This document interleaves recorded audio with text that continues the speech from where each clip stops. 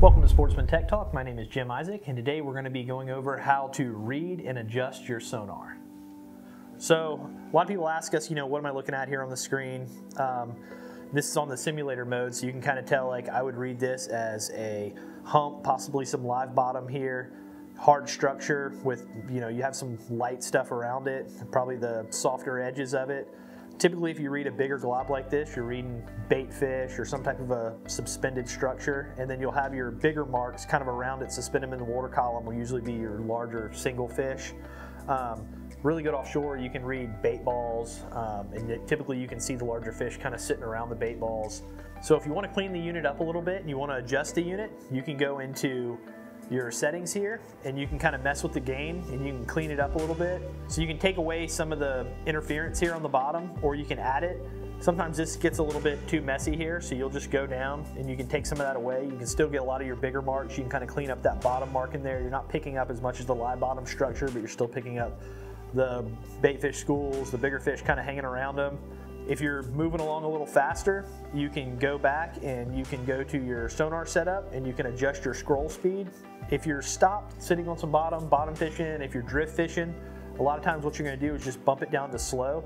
If you have your setting, your scroll speed set on fast, you're just gonna get a lot of long marks. If you have it set on slow, you're gonna get more of those arches, especially with the chirp transducer.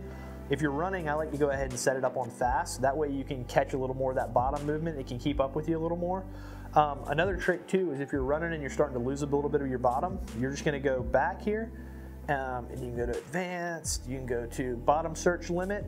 And so your unit is constantly searching between zero and 3,000 feet. But if you're losing a little bit of your bottom, you can actually adjust that. So let's say you're not going over 300 feet.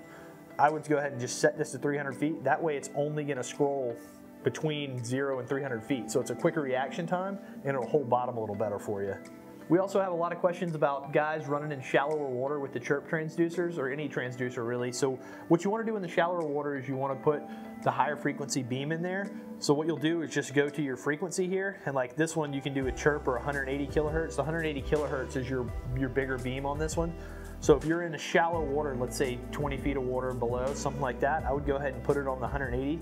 That way it's going to give you a wider beam, allow you to read a little better bottom, hold bottom better with that. Um, deeper water, I would just go ahead and flip it back to the chirp transducer, and that way you're getting those triple beams just going at once. So, all right, so one of the really cool features that Garmin has as well is you can actually, if you're trolling and you go over a spot and you see it's holding a lot of fish or a good bottom structure, you can actually go back in time. You can hold it down here and you can mark that spot. Come back up here, you can edit it, add a symbol, however you want to do it, name it.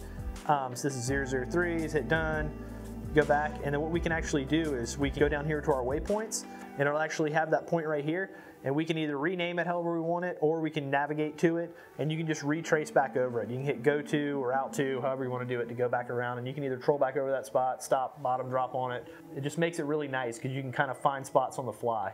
So these are just a few of the things you can do with your Garmin sonar. Um, there's obviously a lot of different adjustments you can do if you really want to get in depth with it. Um, if you have any questions, just leave them in the comments below.